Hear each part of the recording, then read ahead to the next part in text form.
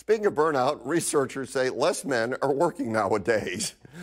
The share of prime working age men in the U.S. with a job has dropped from 90% in the 50s to about 86% now.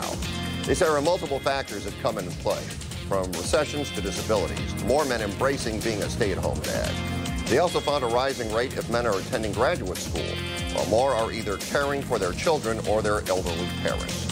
Overall, some could have early financial success and retire early, but with so many factors at play, there may not be one answer. The fact is, there are less men working now than ever before. Uh, Jamie, we're growing as a society. Is this a normal trend to see?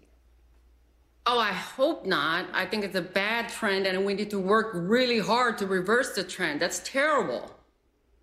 All right. Well, Doug, what do you think? Well, it, it, it is a trend. Yeah, started in the 1950s, as you mentioned, and it's been caused by recessions, incarcerations, addiction, uh, lower wages, and as you mentioned, more stay at home dads. And other than the stay at home dads factor, all of these things leading to lower employment among males are bad things. So it's not a good trend.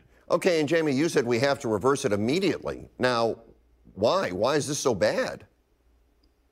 It's bad because if you find yourself in a situation where you don't have a job that you make as money, much as used to, then maybe it's time that you check yourself before you wreck yourself and get education, learn new skills, learn different things and and find something that you can make a living out of. You can't just not work. Okay, but is it safe to say, uh, Doug, that we do have more men staying at home now, and, and women are going out and uh, being the breadwinners? That's okay, no?